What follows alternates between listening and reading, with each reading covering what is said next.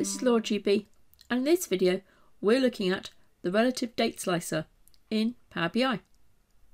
So here we are in a report, got a couple of visuals and a couple of cards at the top there showing some figures. But this data is over a couple of years and we want to be able to slice it down into a recent period.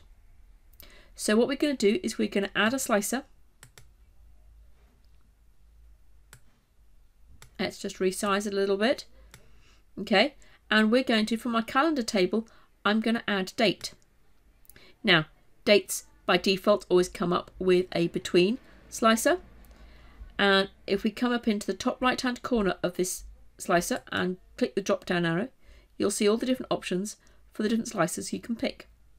So we're going to go for the relative date slicer and there you are, it changes into a couple of drop downs and a text input. So the first drop down is showing us last, one, and then the select is pick a unit.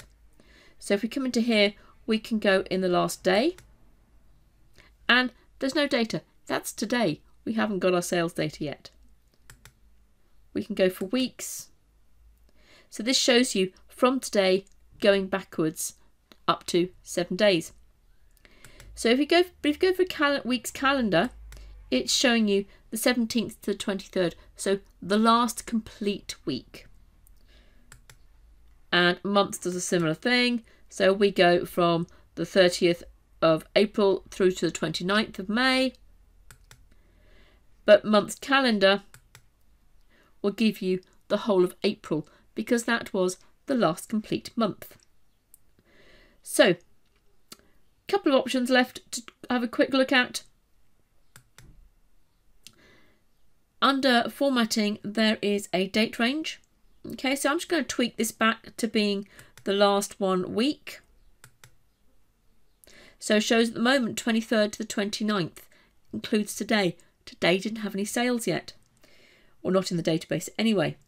So on the date range, we're going to turn off the include today and you'll see the date range goes back by one day. So it's gone from now the 22nd of May to the 28th of May.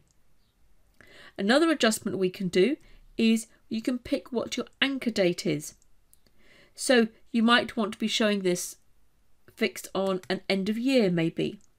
So if I go back to, let's say, the end, the end of March, so the 31st of March, you now see that the last one week goes from the 24th of March to the 30th of March.